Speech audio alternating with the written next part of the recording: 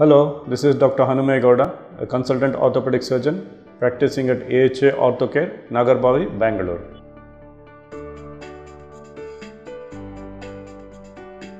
Microdiscectomy is a procedure done for a prolapsed disc in the lumbar region.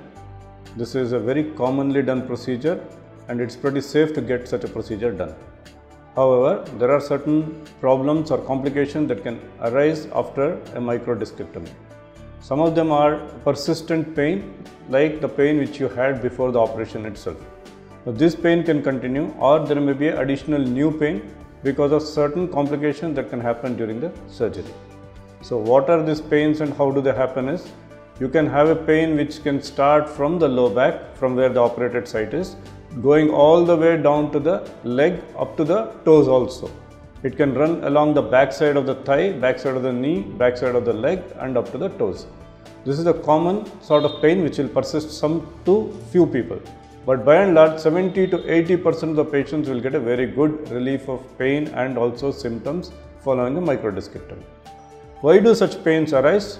The commonest cause of such pain is a inadequate decompression. That is a disc which is prolapsed or disc which has come out has not been removed completely. There is a little bit of disc material which is still staying back which can cause such a problem. Second thing is sometimes it so happens there are four or five levels in the lumbar vertebra. So one of the levels will have a disc prolapse. By mistake the surgeon may do it in a wrong level which is a very common thing to happen because it's a very small open area from where it is seen, though we have a lot of technology to find out which level we are operating. Once in a while, it does happen that you may go into a wrong level. This is the second cause. The third cause is that if at all there are multiple level discs, suppose we are looking in, like as I said, there are five levels. We are looking in terms of L4 5 level. There may be a disc in L3 4 level also.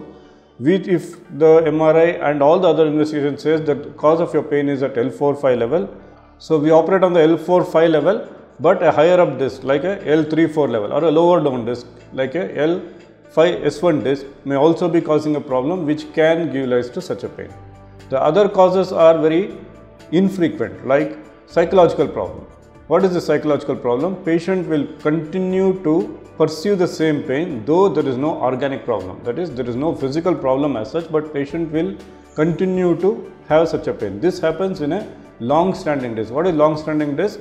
If the patient has waited before surgery for more than 6 months to 1 year, they might have such a persistent pain which will take a very long time to go.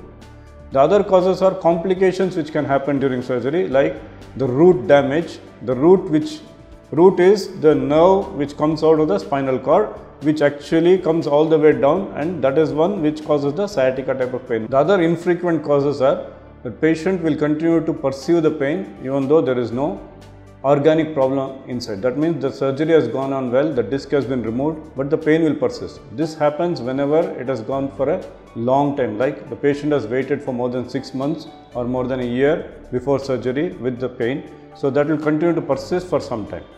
So the other causes are damage to the root, damage to the nerve while doing the surgery. The other rare cause is an infection happening in the area we call it arachnoiditis or discitis which can lead to such a pain.